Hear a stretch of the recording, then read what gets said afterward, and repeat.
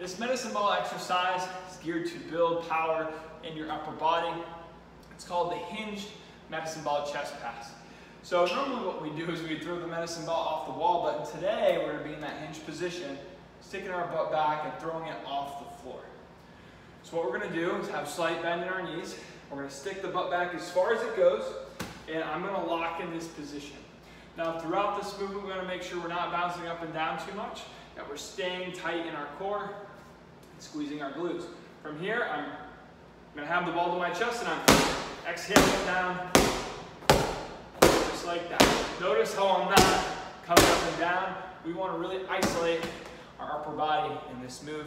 That is how you do the hinge medicine ball chest pass.